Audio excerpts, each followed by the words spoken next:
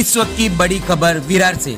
जी हाँ विरार पूर्व साकार नगर स्वामी समर्थ नामक बिल्डिंग में बिके हुए रूम को फिर से दिखाकर एक गरीब महिला अनीता मंडल के साथ धोखाधड़ी का मामला सामने आया है। जी हाँ यह घटना विरार पूर्व साकार नगर की है, जहाँ मोहन झा व उनके भांजे घनश्याम चौधरी नामक व्यक्ति ने अनिता मंडल को दूसरी की बिल्डिंग स्वामी समर्थ नामक अपार्टमेंट में रूम दिखाकर उनसे लगभग ढाई लाख कैश लेने का मामला सामने आया है। आपको बता दें, मोहन झा भारतीय जनता पार्टी वसई विरार जिला सचिव पद पर है और उनके भांजे घनश्याम चौधरी भारतीय जनता उत्तर भारतीय मोर्चा वसई विरार जिला सचिव पद पर है।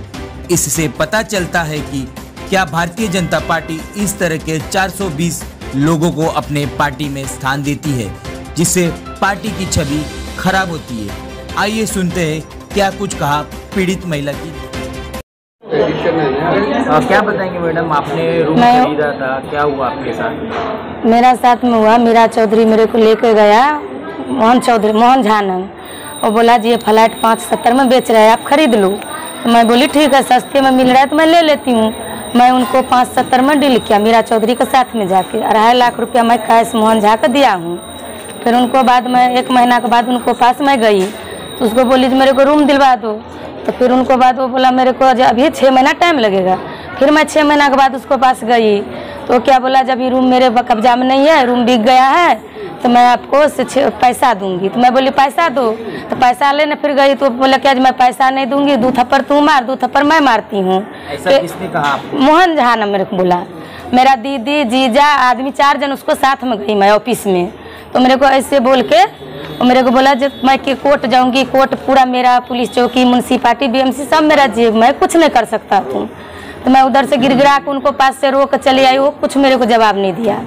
मैं उधर से आ गई फिर आने के बाद मैं फिर दोबारा उनको पास पहुँची। तो वो क्या बोला मेरे को जो तुमको तुझे मेरे परेशान करेगी तो मैं एक्सीडेंट करवा दूँगी मर्डर करवा दूँगी। ऐसा आपको किसने कहा? मोहन झा ने मेरे को बोला ऐसा। आपको धमकी दिया मेरे को। तो उसके बाद फिर उसके बाद मैं उनको पास फिर गई तो क्या बोला जो मेरे मीरा चौधरी से तू पैसा दिलवाया तो उनसे तू असूल ले। मीरा चौधरी के पास गई तो उनको आदमी क्या बोला जो मेरे घर पे जब बार बार तू आएगी तो मैं कंप्लेंट डाल दूँगी पुलिस चौकी में ये लोग आगे मेरे को परेशान कर रहा है। मेरे पास तो कोई सहारा है नहीं।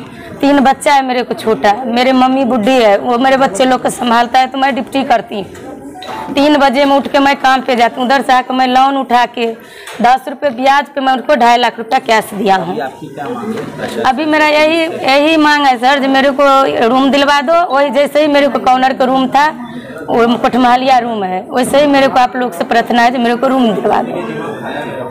क्या हुआ आज इस पत्रकार परिषद में आपने रखी? इस पत्रकार परिषद में एक पीड़ित महिला है अनिता मंडल जिन्होंने मोहन झा और घनश्याम चौधरी। ऐसे दो व्यक्ति का नाम आ रहा है। मोहन झा से इन्होंने पाँच लाख सत्तर हज़ार रुपये में एक ऐसा फ्लैट खरीदा और उस फ्लैट से मोहन झा का दूर दूर तक कोई संबंध नहीं था। और वह फ्लैट सिर्फ़ दिखा के इनको बेच दिया गया।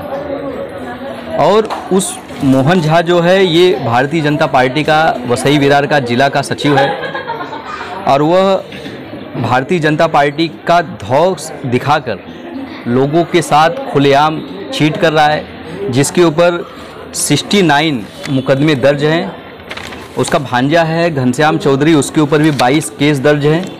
खुलेआम ऐसे लोग चीट कर रहे हैं, लेकिन भारतीय जनता पार्टी उनको अपने गोद में बैठा रही है, उनको गले लगा रही है, और पुलिस प्रशासन पूरी तरीके से मौन है। तो मैं मांग करता हूँ कि सदानंद दाते जो वसई विरार और मीरा भाईंदर के कमिश्नर हैं और विरार ईस्ट के जो सीनियर पीआई हैं इन लोगों से मांग करता हूँ ऐसे लोगों को कठोर से कठोर कार्रवाई हो इन्हें जेल के अंदर डाला जाए और जो पीड़ित हैं उनको जल्द से जल्द न्याय दिलवाया जाए। विषय किस एरिया का है?